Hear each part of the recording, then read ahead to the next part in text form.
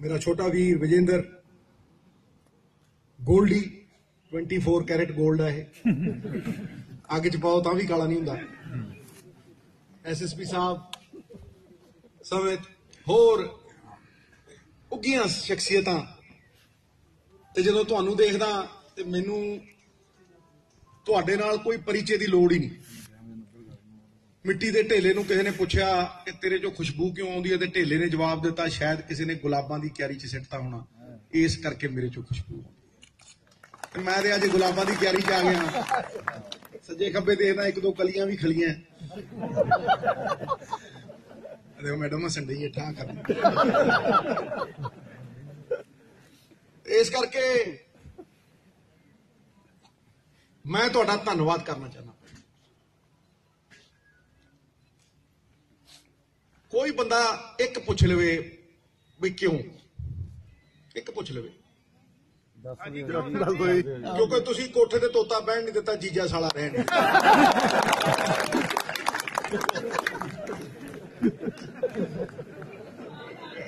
ਦੇਖੋ ਮੈਂ ਸਵਾਦ ਦੇਣੀ ਆਇਆ ਤੁਸੀਂ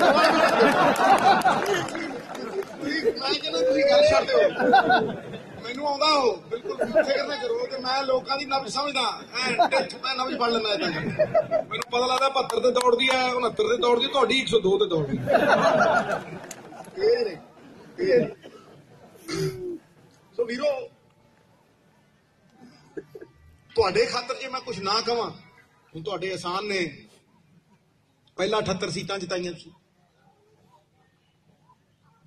ਤੇ ਉਦੋਂ ਬਾਅਦ ਜਿਮਨੀ ਚੋਣ ਹੋਈ। ਜਾਖੜ ਸਾਹਿਬ ਨੂੰ ਉੱਥੇ ਲੈ ਕੇ ਗਏ 2 ਲੱਖ ਵੋਟਾਂ। ਕਾਲੀ ਦਾ ਲੈ ਨਿਕਲਿਆ ਜਿਵੇਂ ਬਿੱਲਾ ਛੱਪੜ ਚੋਂ ਨਹਾ ਕੇ ਨਿਕਲਿਆ ਹੁੰਦਾ। ਦੇਖਿਆ ਨਾ, ਐਂ ਐਂ ਕਰਦਾ ਨਿਕਲਿਆ ਠੀਕ ਹੈ ਐ ਨਿਕਲਿਆ ਉੱਥੋਂ। ਫਿਰ ਤੁਸੀਂ ਤੀਜੀ ਚੋਣ ਜਿਤਾਤੀ। ਮਤਲਬ ਲੋਕਤੰਤਰ ਦੇ ਵਿੱਚ ਇਦੋਂ ਵੱਡਾ ਸਨਮਾਨ ਕਿਸੇ ਨੂੰ ਕੀ ਮਿਲਿਆ ਹੋਣਾ? ਕ੍ਰਿਕਟ ਕਹਿੰਦੇ ਹੈਟ੍ਰਿਕ ਮਾਰੀ। ਜਿਹੜਾ 8 ਵਿਕਟਾਂ ਲੈ ਲਿਆ, ਉਹਦਾ ਨਾਂ ਇਤਿਹਾਸ 'ਚ ਨਹੀਂ ਆਉਂਦਾ। ਪਰ ਜਿਹੜਾ ਤਿੰਨ ਬਾਲਾਂ ਤੇ ਤਿੰਨ ਵਿਕਟਾਂ ਕੱਢ ਦੇ ਉਹ ਕਹਿੰਦੇ ਨੇ हैट्रिक मारी है समय नदी की बाढ़ के अक्सर सब बह जाया करते है समय बड़ा तूफान प्रबल पर्वत भी झुक जाया करते हैं अक्सर दुनिया के लोग समय में चक्कर खाया करते हैं पर कुछ कैप्टन अमरिंदर सिंह जैसे भी होते हैं जो इतिहास बनाया करते हैं। इतिहास ਬਣਿਆ ਕੈਪਟਨ ਸਾਹਿਬ ਦੀ ਅਗਵਾਈ ਦੇ ਵਿੱਚ ਇੱਕ ਇਤਿਹਾਸ ਬਣਿਆ ਜਿਹੜਾ ਗੌਰਵਮਈ ਇਤਿਹਾਸ ਹੈ ਜਿਹੜਾ ਪੱਗ ਜਿਹੜੀ ਹੈ, ਗਿੱਠ ਗਿੱਠ ਉੱਚੀ ਕਰਦਾ। ਇਸ ਕਰਕੇ ਮੈਂ ਆਸਾਨ ਫਰਾਮੋਸ਼ ਨਹੀਂ, ਸਭ ਤੋਂ ਪਹਿਲਾਂ ਤੁਹਾਡਾ ਧੰਨਵਾਦ ਕੀਤਾ ਤੇ ਸਿੱਧੂ ਧੰਨਵਾਦ, ਐਂ ਕਰ ਜੇ ਸ਼ੇਰ ਨਾ ਮਾਰੇ ਤੇ ਤੇ ਬੜੀ ਮਾੜੀ ਗੱਲ ਹੈ। ਕਿਉਂ? ਫੜਕਾ ਦਿਆਂ ਫਿਰ।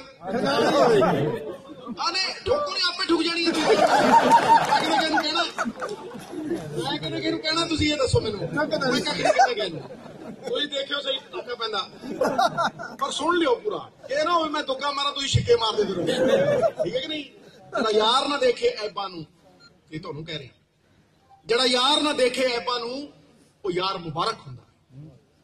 ਜਿਸ ਪਿਆਰ ਚ ਭੋਰਾ ਗਰਜ ਨਹੀਂ, ਉਹ ਪਿਆਰ ਮੁਬਾਰਕ ਹੁੰਦਾ ਹੈ। ਕੀ ਲੈਣਾ ਉੱਚੇ ਮਹਿਲਾਂ ਤੋਂ, ਕੀ ਦੇਣਾ ਸ਼ਖਰ ਮਨਾਰਾ ਨੇ? ਜਿਸ ਦਰ ਤੇ ਝੋਲੀ ਭਰ ਜਾਏ ਉਹ ਦਵਾਰ ਮੁਬਾਰਕ। ਕੀ ਬਾਤ ਇਹ ਸਿੱਧੂ ਕਹਿੰਦਾ ਠੋਕੋ ਆਪੇ ਠੁਕਦੀ ਹੈ ਥਾਂ ਮੈਂ ਕੋਈ ਝੂਠ ਬੋਲਿਆ। ਕੋਈ ਕੋਹਰ ਤੋਲਿਆ। ਲਿਆ ਸੋ ਤੁਸੀਂ ਝੋਲੀਆਂ ਭਰਨ ਵਾਲੇ ਹੋ। ਤੁਸੀਂ ਸਨਮਾਨ ਦੇ ਨਾਲ ਨਵਾਜਣ ਵਾਲੇ ਸਾਡੀ ਤੁਹਾਡੇ ਨਾਲ ਕਿਤੇ ਲੜਾਈ ਹੋ ਸਕਦੀ ਤੁਸੀਂ ਗਿਲਾ ਸ਼ਿਕਵਾ ਵੀ ਕਰ ਸਕਦੇ ਗਿਲਾ ਸ਼ਿਕਵਾ ਹੁੰਦਾ ਹੀ ਉਹਨਾਂ ਨਾਲ ਜਿਹਨਾਂ ਨਾਲ ਪਿਆਰ ਹੁੰਦਾ। ਹੁਣ ਆਈ ਗੱਲ ਮੇਰੇ ਛੋਟੇ ਭਾਈ ਦੀ ਤੇ ਗੋਲਡੀ ਦੀ। ਗੋਲਡੀ ਨੇ ਮੈਨੂੰ ਕਹੇ, ਭਾਜੀ, ਮੈਂ ਇੱਕ ਚੀਜ਼ ਤੁਹਾਨੂੰ ਕਹਿ ਰਿਹਾ। ਮੈਨੂੰ ਫਾਇਰ ਬ੍ਰਿਗੇਡ ਚਾਹੀਦੀ ਹੈ। ਤੇ ਜਿਹੜੀ ਪਹਿਲੀ ਆਈ ਲਿਸ਼ ਲਿਸ਼ ਕਰਦੀ ਇਹਦੇ ਘਰੇ ਭੇਜੀ ਨੂੰ ਖੜਾਉਣ ਨੂੰ ਥਾਂ ਨਹੀਂ ਸੀ ਕਿਉਂ ਭੇਜੀ ਨਹੀਂ ਭੇਜੀ?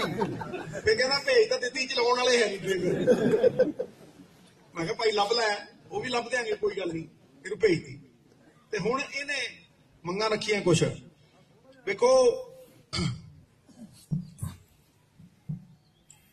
ਇਹਨਾਂ ਨੇ ਸੀਵਰੇਜ ਪਾਏ ਖੁੱਲੇ ਛੱਡ ਕੇ ਤੁਰ ਕਰੋੜ ਕਰੋੜ ਦੇਤਾ, ਕਿਸੇ ਨੂੰ 50 ਲੱਖ ਦੇਤਾ।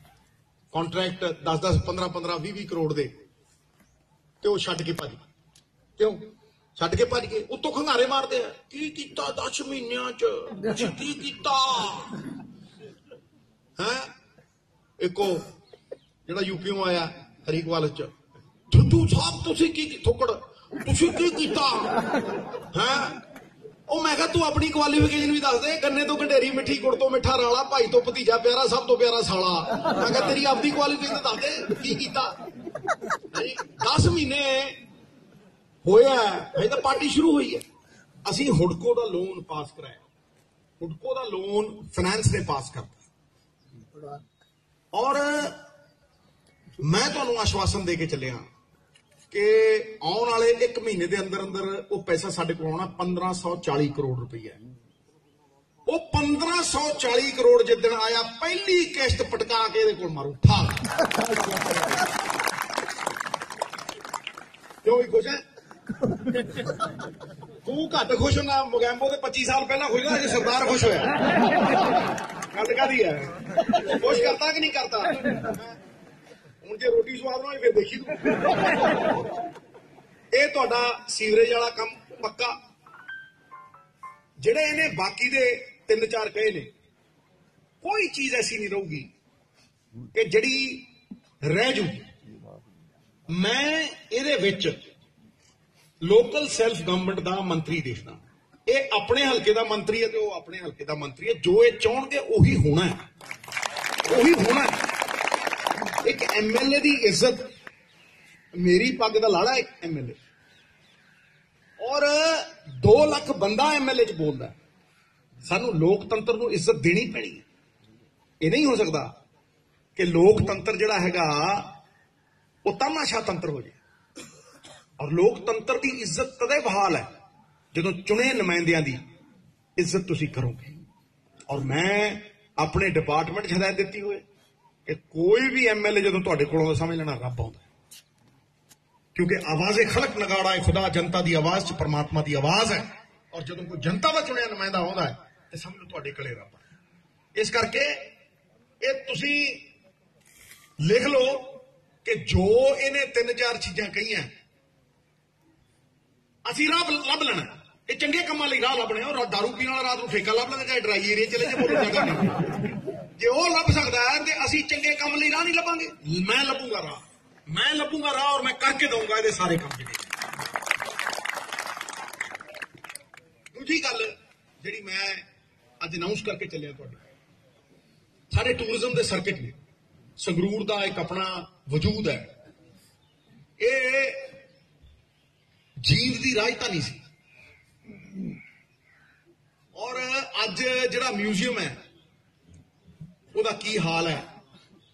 ਕਿਸ ਤਰ੍ਹਾਂ ਦੇ ਹਾਲ ਦੇ ਵਿੱਚੋਂ ਸਾਰਾ ਕੁਝ ਚੱਲ ਰਿਹਾ ਹੈ? ਮੈਂ ਤੁਹਾਨੂੰ ਖੁਸ਼ਖਬਰੀ ਦੇ ਕੇ ਚੱਲਿਆ ਕਿ ਅਸੀਂ 100-100 ਕਰੋੜ ਰੁਪਏ ਦੇ ਪੈਕੇਜ ਮੰਗੇ ਆ ਗਵਰਨਮੈਂਟ ਆਫ ਇੰਡੀਆ ਤੋਂ ਸਰਕਟਾਂ ਦੇ। ਉਹਦੇ ਚ ਇੱਕ ਸਪਿਰਚੁਅਲ ਸਰਕਟ ਹੈ ਜਿਹੜਾ ਤਖਤਾਂ ਨੂੰ ਜੋੜਦਾ ਹੈ। ਸਾਡੇ ਤਿੰਨੇ ਤਖਤ ਉਹਦੇ ਨਾਲ ਜੁੜਦੇ ਆ ਮੈਂ ਅਨੰਦਪੁਰ ਸਾਹਿਬ ਲਈ 32 ਕਰੋੜ ਰੁਪਈਆ, ਫਤਿਹਗੜ੍ਹ ਸਾਹਿਬ ਲਈ 18 ਕਰੋੜ ਰੁਪਈਆ। ਚਮਕੌਰ ਸਾਹਿਬ ਲਈ 18 ਕਰੋੜ ਤੇ ਫਤਿਹਗੜ੍ਹ ਸਾਹਿਬ ਲਈ 20 ਕਰੋੜ ਰੁਪਈਆ। ਜਲਿਆਂ ਵਾਲਾ ਬਾਗ ਲਈ 10 ਕਰੋੜ ਰੁਪਈਆ ਮੰਗਿਆ।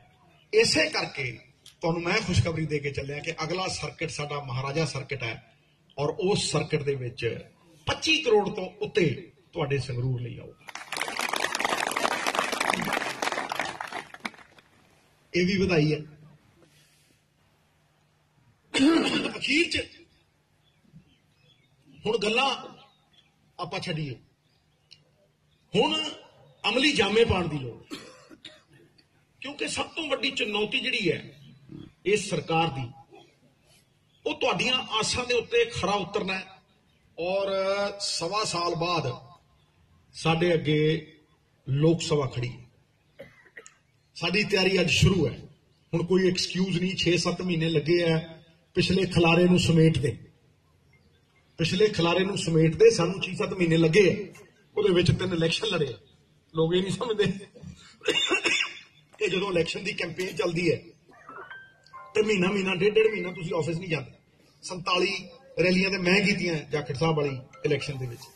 ਸੋ ਅਸੀਂ 6-7 ਮਹੀਨੇ 'ਚ ਸਾਰਾ ਕੁਝ ਸਮੇਟਿਆ ਔਰ ਅਮਲੀ ਜਾਮਾ ਪਾਉਣ ਦੇ ਲਈ ਪੂਰੀ ਤਰ੍ਹਾਂ ਅਸੀਂ ਤਿਆਰ ਇੱਕ ਸਾਲ ਹੁਣ ਜਿਹੜਾ ਕੰਮ ਹੋਣਾ ਉਹਨੂੰ, ਉਹਦੀ ਤੁਲਨਾ ਹੋਣੀ ਹੈ ਇਹਨਾਂ ਦੇ 10 ਸਾਲਾਂ ਦੇ ਨਾਲ। ਇਹਨਾਂ ਦੇ 10 ਸਾਲ ਤੇ ਸਾਡਾ ਡੇਢ ਸਾਲ। ਚੰਪਾ ਕੇ 10 ਫੂਲ ਚਮੇਲੀ ਕੀ ਇਕਲੀ ਮੂਰਖ ਕੀ ਸਾਰੀ ਰਾਤ ਚਤੁਰ ਕੀ ਇੱਕ ਘੜੀ ਠੋਕੋ ਤਾੜੀ। ਇਹ ਨਿਬੇੜ ਦੇਣਾ ਇਹਨਾਂ ਸਾਲ ਦੇ ਵਿੱਚ ਹੀ ਤੁਸੀਂ ਦੇਖੋ ਜਦੋਂ ਕੰਮ ਹੋਣੇ ਆ, ਇਹਨਾਂ ਨੂੰ ਨਿਬੇੜ ਦੇਣਾ। ਹੁਣ ਅਖੀਰ ਦੇ ਵਿੱਚ ਮੈਂ ਫੇਰ ਤੁਹਾਡਾ ਬਹੁਤ ਬਹੁਤ ਤਹਿ ਦਿਲੋਂ ਧੰਨਵਾਦ ਕਰਦਾ। ਔਰ ਤੁਹਾਨੂੰ ਇਹ ਕਹਿ ਕੇ ਚੱਲਿਆ ਵੀ ਸੰਗਰੂਰ ਮੇਰਾ ਜੱਦੀ ਪਿੰਡ ਹੈ। ਮੈਂ ਖਾਸ ਕਾ ਸਿੱਧੂ ਹਾਂ ਕੱਕੜ ਵਾਲੀਆਂ ਕੱਕੜ ਵਾਲੀਆਂ। ਇਹ ਕੱਕੜਵਾਲ ਦੇ ਨਾਂ ਦੇ ਵਧੀਆ ਠਾ ਕਰ। ਤੇ ਮੈਂ ਚੱਲਿਆ, ਆਪਣੇ ਪਿੰਡ ਵੀ ਚੱਲਿਆ। ਕੱਕੜ ਵਾਲੀਆਂ, ਤੇ ਮੇਰੀ ਯਾਰੀ ਤੁਹਾਡੇ ਨਾਲ ਪੱਕੀ। ਫੈਵੀਕੋਲ ਦਾ ਜੋੜ ਆ, ਦੇਖਿਆ ਨਾ ਕੜਿਚ ਐ ਲੱਗਦਾ। ਲੱਗਦਾ ਕਿ ਨਹੀਂ ਲੱਗਦਾ? ਟਿਚ ਮੇਰੀ ਯਾਰੀ ਤੁਹਾਡੇ ਨਾਲ ਪੱਕੀ ਹੈ। ਤੇ ਜੇ ਚਾਰ ਲਾਈਨਾਂ 'ਚ ਕਹਿ ਕੇ ਗੱਲ ਖਤਮ ਕਰਨੀ ਹੋਵੇ ਕਦੇ ਉਹਦੇ ਨਾਲ ਯਾਰੀ, ਕਦੇ ਨਾ ਲਾਈਏ ਜਿਹਨੂੰ ਆਪਣੇ ਉੱਤੇ ਗਰੂਰ ਹੋਵੇ। ਦੇਖਿਆ ਨਾ ਸੁੱਖਾ ਗੱਪੀ ਆ ਧੌਣ ਚ ਸਰੀਆ। ਉਹ ਮੈਂ ਓਏ, ਤੂੰ ਫਲਾਨਾ ਓਏ। ਮੈਂ ਤੈਨੂੰ ਛੱਡੂਗਾ ਨਹੀਂ ਓਏ, ਐ ਓਏ, ਫਲਾਨਾ।